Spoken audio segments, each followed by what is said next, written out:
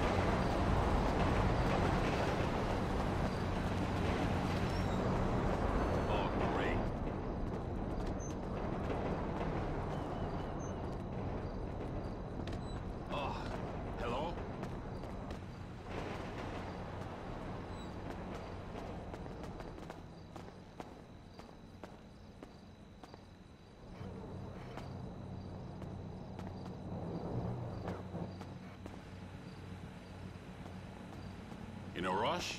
Good.